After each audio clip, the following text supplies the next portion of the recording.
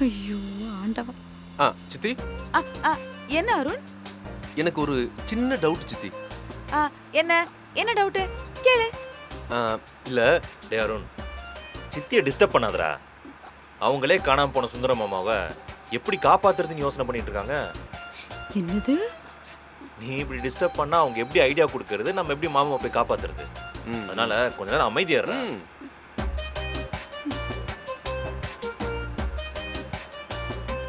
சரி சித்தி விஷயத்துக்கு வருவோம். இப்போ சொல்லுங்க மாமா எப்படி காப்பாத்துறது? ஐயோ இருக்கிறது பத்தாதுன்னு இவன் வேற என் உயிரை வாங்குறான். என்ன சித்தி யோசிக்கிறீங்க? இன்னும் ஐடியா வரல. ஆ, நம்பர் பத்து சிவபிரகாசம் சாலை காந்தி ரோடுக்கு போ. என்ன சித்தி? ஏதாவது கொரியர் கொடுக்கணுமா? அட அங்கதானே சுந்தரம் இருக்காரு. ஓஹோ.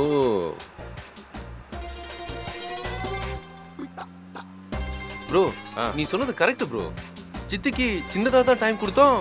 அவங்க ஏதாவது ஐடியா கொடுப்பாங்கன்னு பார்த்தா அட்ரஸே கொடுத்துட்டாங்க. அதுதான் அருண் நம்ம சித்தி. என்ன சித்தி? ம். சித்தி உங்ககிட்ட இருந்து இத இதத்தான் எதிர்பார்த்தோம். சூப்பர் சித்தி. சும்மா கலங்கிட்டீங்க போங்க. இருக்கட்டும் இருக்கட்டும். நீங்க போங்க.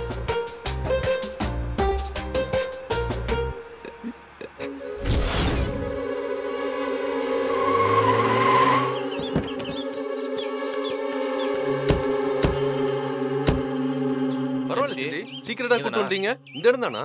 இதே இடம்தான். அப்போ சரி, வாங்க. சுந்தரம் உள்ளதா இருப்பார் போல இருக்கு.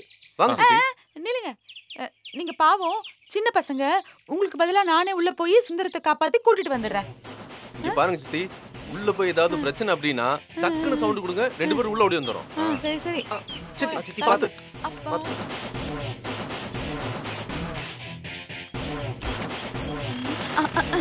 பெரிய மனோகரா போக. யாரு? நான் தான்டா.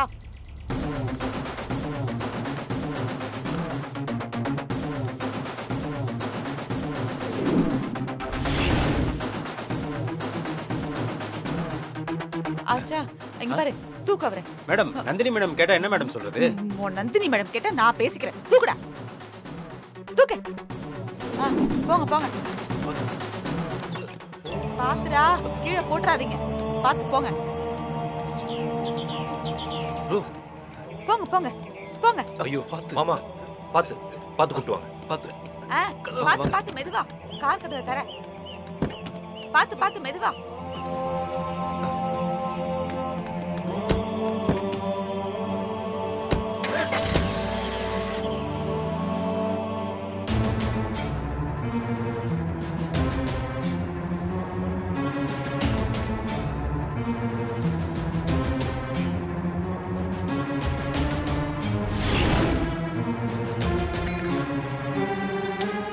பார்வதி என்னது? பால் பொங்கி அடுப்புல வலிஞ்சுகிட்டு இருக்கு. இத கவனிக்காம என்ன யோசனையில இருக்க? அது அப்பாவை பத்தி தான் யோசிச்சுட்டே இருந்தேன். நான் எத்தனை தடவை உங்களுக்கு ஃபோன் பண்ணி பேசியிருப்பேன் ஒரு தடவை கூட அப்பாவை பத்தி கேட்காம இருந்துட்டேனே. கவலைப்படாத பார்வதி. சுந்தர அண்ணனை கூட்டிட்டு வரதுக்கு தான் பெரிய தம்பியும் சின்ன தம்பியும் போயிருக்காங்கல்ல. கண்டிப்பா உன் அப்பாவோட தான் வருவாங்க.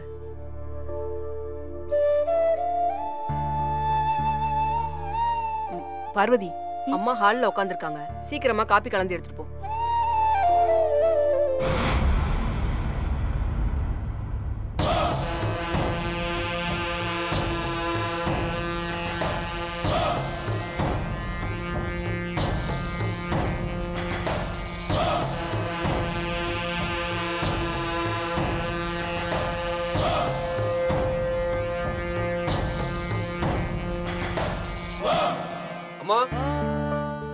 பாத்து பாத்து பாத்து வாங்க அப்பா ஐயோ பார்வதி. அப்பா என்னப்பா இதெல்லாம்? என்னப்பா ஆச்சு உங்களுக்கு? என்னாச்சு எனக்கு ஒண்ணும் இல்லம்மா. என்- எனக்கு ஒண்ணும் இல்ல. ஐயோ. நான் நல்லா நீங்க இருக்கேன். இப்படி வந்திருக்கீங்க? என்னப்பா ஆச்சு? எனக்கு ஒண்ணும் இல்லம்மா. என்னன்னு நான் நல்லா தான் இருக்கேன். எனக்கு ஆச்சு? எதுவும் ஆகல. சுந்தரம்? இப்படி இருக்கீங்க? அம்மா. சுந்தரம் என்னாச்சு? சுந்தரம். நல்லா இருக்கியா உனக்கு ஒண்ணும் இல்லையே. எனக்கு ஒண்ணும் இல்லம்மா.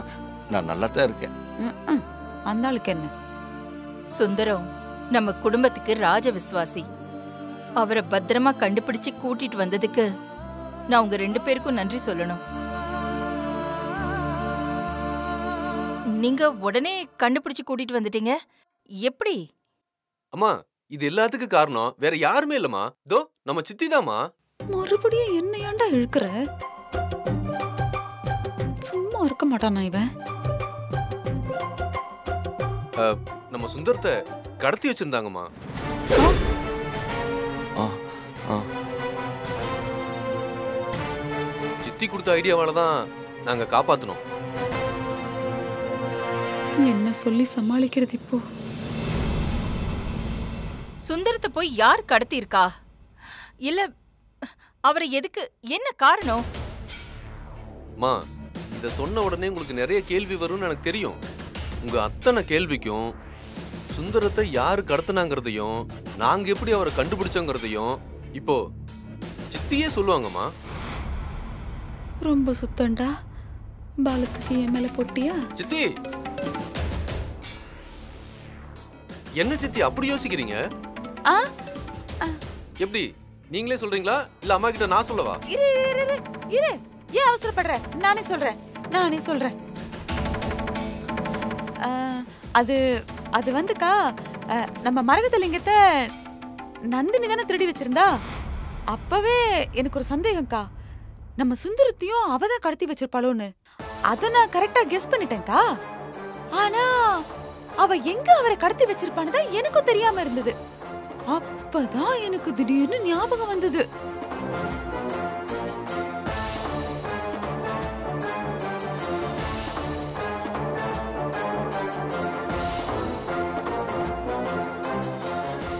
நான் நினைச்சது கரெக்டா போயிடுச்சு. சுந்தரத்தை அங்கதான் கட்டி போட்டு வச்சிருந்தா. அதுக்கப்புறம் அந்த ரவுடிங்க கிட்ட நான் தான் பேசி சமாதானம் செஞ்சு பெரிய சண்டையெல்லாம் ஒன்றும் இல்லாம அவரை ரிலீஸ் பண்ணி காப்பாத்தி கொண்டு வந்தேன்க்கா. ஏதோ ராமருக்கு அணில் உதவுன மாதிரி என்னால முடிஞ்சது. ஆனா ஆனா ஒன்னே ஒண்ணுக்கா. அந்த நந்தினி இருக்காளே. எப்ப பார்த்தாலும் நம்ம குடும்பத்தை நிம்மதியா இருக்க விடாம ஏதாவது ஒரு தொந்தரவு கொடுத்துக்கிட்டே இருக்கா.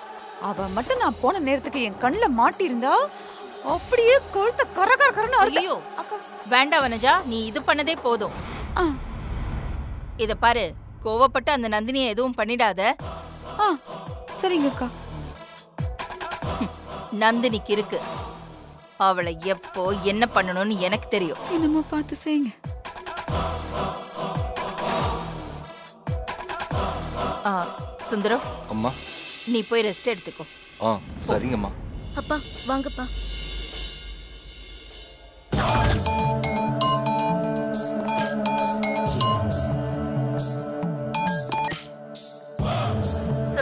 நந்தினி என்னத்த சொல்றது? எனக்கு ஒண்ணுமே புரியல. நான் தான் எல்லாருக்கும் சஸ்பென்ஸ் வைப்பேன். நீங்க சஸ்பென்ஸ் வைக்காம என்ன மேட்டர்னு சொல்லுங்க. நந்தினி.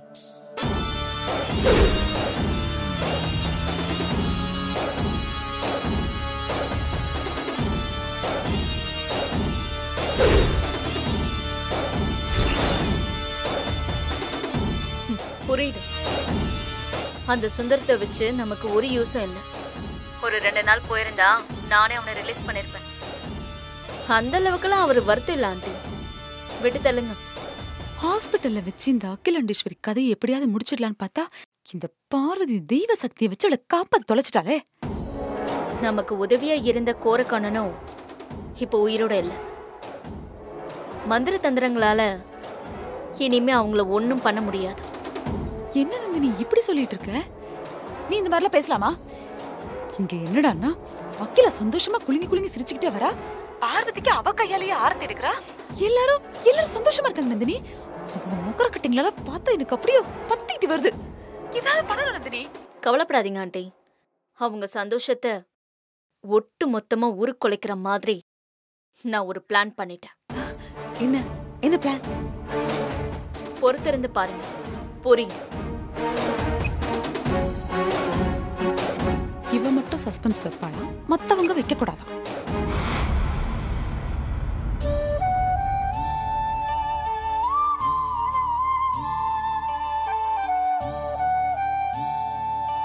அம்மா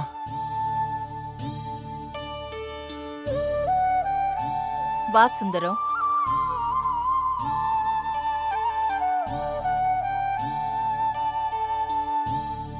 நல்லா ரெஸ்ட் எடுத்தியா சுந்தரம் ரெஸ்ட் எடுத்தம்மா.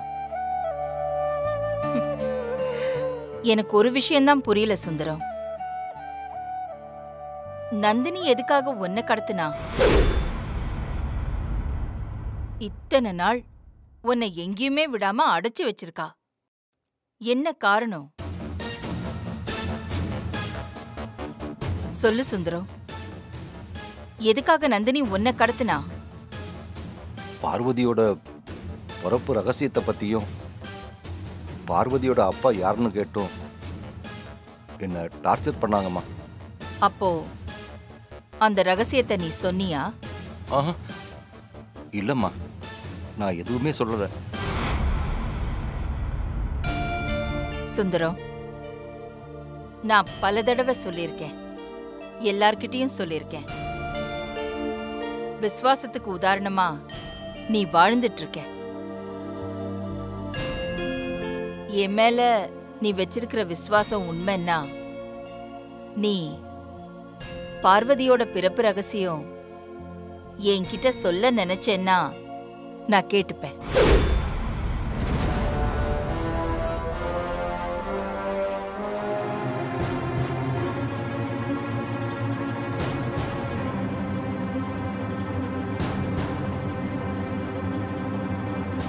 இந்த விஷயத்தை நான் பார்வதிக்கிட்டே கேட்டிருக்கலாம். ஆனா பார்வதிய திரும்பவும் வீட்டுக்கு கூட்டிட்டு வர்றப்போ அவ பிறப்பு ரகசியத்தை நானும் இந்த வீட்ல இருக்கிறவங்க யாருமே அவகிட்ட கேட்க கூடாதுன்னு என்கிட்ட சத்தியம் வாங்கிக்கிட்டா. ஆனா நீ என் மேல எவ்வளவு விசுவாசம் வச்சிருக்க? அந்த விசுவாசத்தை மனசுல முன்னிலையில வச்சு நீ இந்த விஷயத்த என்கிட்ட சொல்லலாம்ல சுந்தரம்? சுந்தரம் நான் வற்புறுத்தல.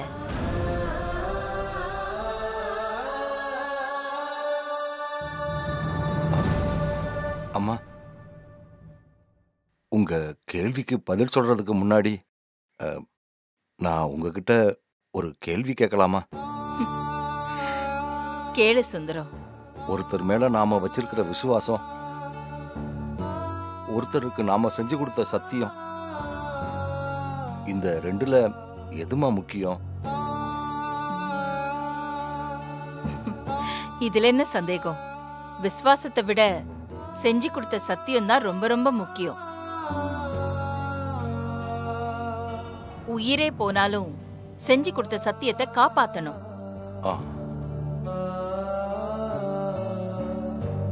பார்வதி உங்ககிட்ட சத்தியம் வாங்கின மாதிரி தன்னோட அப்பா யாருங்கிற உண்மைய நான் யார்கிட்டையும் சொல்லக்கூடாதுன்னு என்கிட்டையும் சத்தியம் வாங்கியிருக்காமா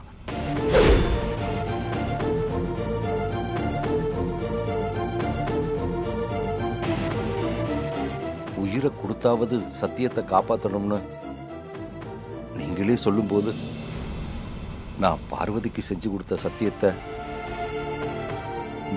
என்னால் என்னால எப்படிம்மா மீற முடியும்? கரெக்டா தான் சொல்ற சுந்தரம். ஆமா. விசுவாசத்தை விட பண்ணி கொடுத்த சத்தியம் தான் முக்கியம். வேண்டாம்.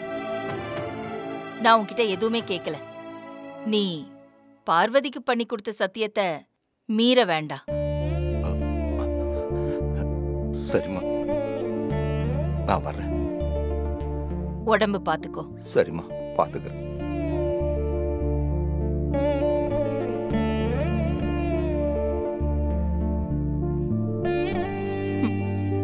பார்வதி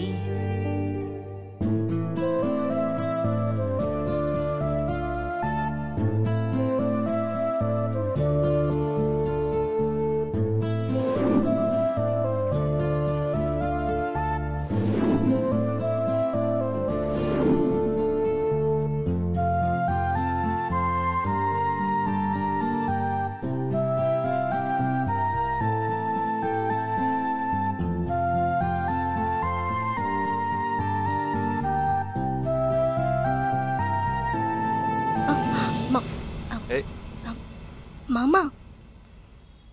என்ன மாமா இப்படி பயமுறுத்துறீங்க? நீ பயமுறுத்தினதை விடவா? நான் என்ன பயமுறுத்தினேன் ஆமா. என்னை இங்க தனியா இருக்க விட்டுட்டு நீ எங்கேயோ போய் ஒளிஞ்சுக்கிட்டு ஒவ்வொரு நாளும் உனக்கு என்ன ஆச்சோன்னு பயமுறுத்திட்டு தானே இருந்த?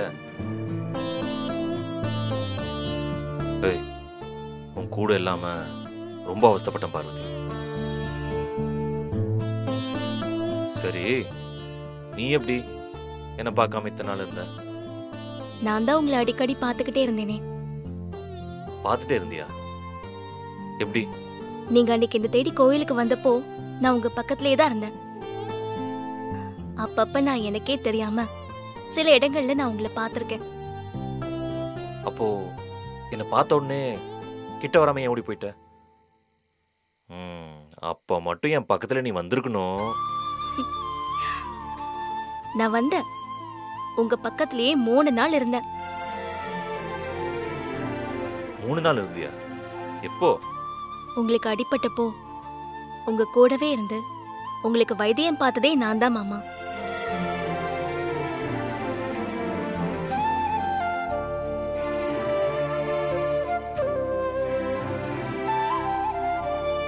நினைச்சேன். எனக்கு தெரியும் பார்வதி. நான் அன்கான்சியஸா இருந்தப்போ நீ என் பக்கத்துல இருந்த மாதிரி இருந்தது. நான் சொன்னேன் ஆனா யாருமே நம்பல. நம்ம குருஜி அவர்கிட்ட கூட போய் சொன்னேன். அவரும் எதேதோ சொல்லி என்னை அனுப்பிச்சு விட்டாரு. நீங்க குருஜி கிட்ட பேசிட்டு இருந்தப்போ நானும் அங்கதான் இருந்தேன் மாமா. நீங்க பேசிட்டு இருந்த எல்லாமே நான் கேட்டேன். அடிப்பாவி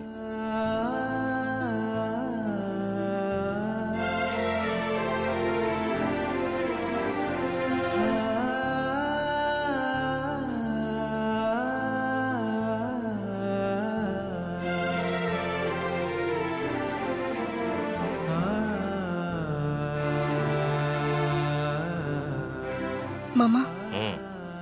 நான் வீட்டை விட்டு போய் உங்களை ரொம்ப கஷ்டப்படுத்திட்டேன்ல. நான் உன்னை பிரிஞ்சு கஷ்டப்பட்டதை விட நீ தான் வீட்டை விட்டு போய் ரொம்ப கஷ்டப்பட்ட. எல்லாம் அம்மாக்காக தானே மாமா. நவகிரக தோஷத்துல இருந்து எந்த பாதிப்பும் இல்லாம அவங்க நல்லா இருக்கிறத பார்க்கும்போது நான் பட்ட கஷ்டம்லாம் எனக்கு பெருசாவே தெரியல மாமா.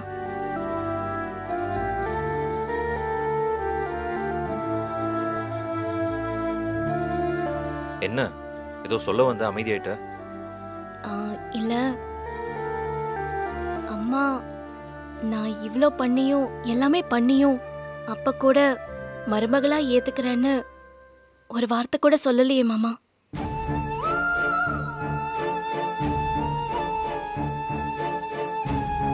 இல்ல பார்வதி. அம்மா உன்னை மருமகளை ஏத்துக்கிட்டாங்க. அப்படி இல்லைன்னா மனசார உன்னை வீட்டுக்கு வான்னு கூப்பிட்டுருக்க மாட்டாங்கல்ல? அவங்க முகத்திலே தெரியுது பார்வதி. நீ எதுக்கும் ஃபீல் பண்ணாத. இல்ல மாமா. அவங்க முகத்துல சந்தோஷம் இருக்கு. ஆனா அது நான் கிடைச்சிட்டேங்கிற சந்தோஷம்தான். ஆனா அவங்க உண்மையிலேயே என்ன மருமகளா ஏத்துக்கிட்டு இருந்தாங்கன்னா என்ன அவங்க வாயாலேயே மருமகளேன்னு கூப்பிட்டுருப்பாங்களே மாமா. ஆனா அப்படி அங்க எதுவும் நடக்கலையே. அம்மா எதுவுமே சொல்லலையே.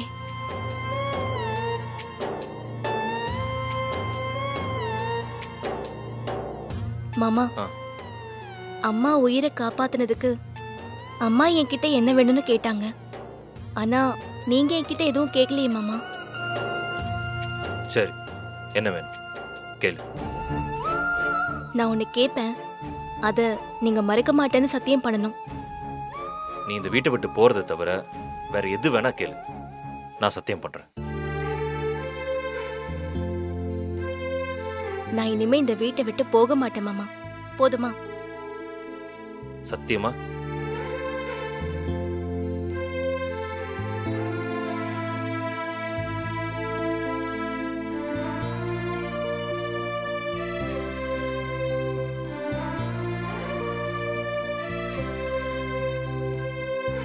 சரி பார்வதி. என்ன வேணும்னு கேளு. இப்ப கேட்க மாட்டேன். எப்ப கேட்கணுமோ அப்ப கேக்குறேன் ஆனா நான் எப்ப கேட்டாலும் அதை மறுக்க மாட்டேன்னு சத்தியம் பண்ணணும். சத்தியம் பண்ணுங்க.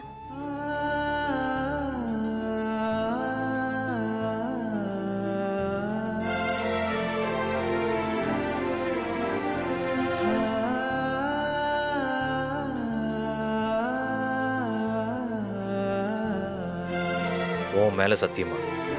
நான் செய்கிறேன்